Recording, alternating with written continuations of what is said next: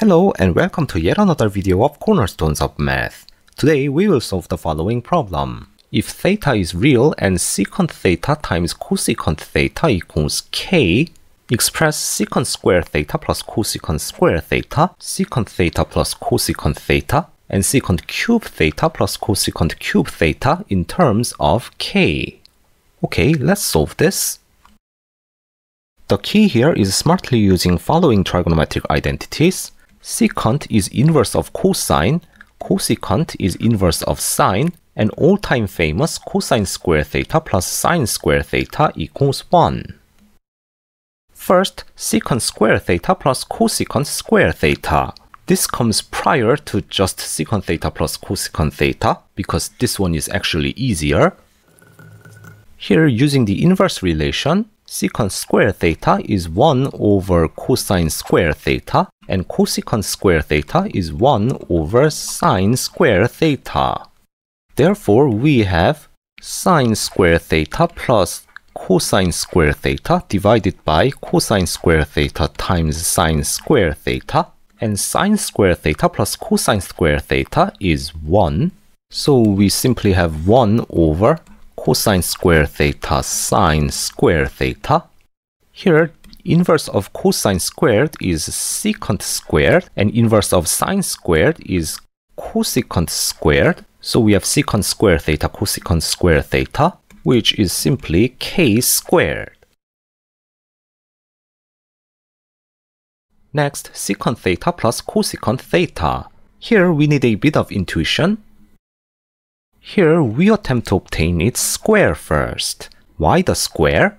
Well, if we expand, you will notice that it contains secant square theta plus cosecant square theta and secant theta cosecant theta. And we have obtained that this is k squared and this is given as k. So we have k squared plus 2k. Therefore, if we take square roots, we obtain secant theta plus cosecant theta equals plus minus square root of k squared plus 2k. So we have two possible values for secant theta plus cosecant theta.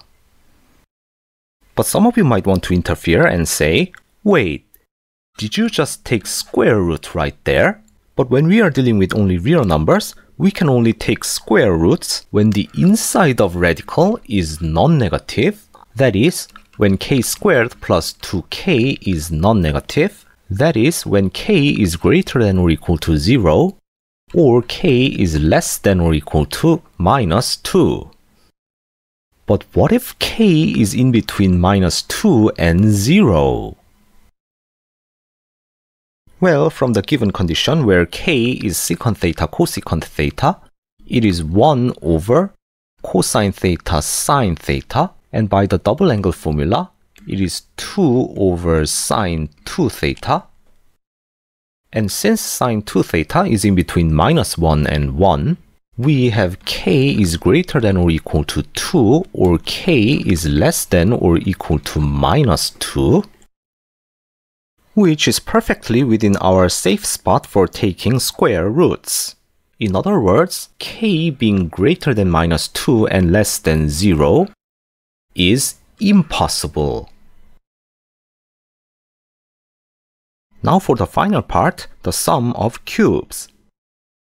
Here we use the famous factorization formula x cubed plus y cubed equals x plus y times x squared minus xy plus y squared. So we have secant cube theta plus cosecant cube theta equals secant theta plus cosecant theta times secant square theta minus secant theta cosecant theta plus cosecant square theta. So using that this is plus minus square root of k squared plus 2k, and this plus this is k squared, and this is k, we have plus minus square root of k squared plus 2k times k squared minus k, or you can write it as plus minus k squared minus k times square root of k squared plus 2k. And that was all for today's video. Thank you for watching. Please don't forget to hit that like and subscribe buttons. And as always, I will see you in another video.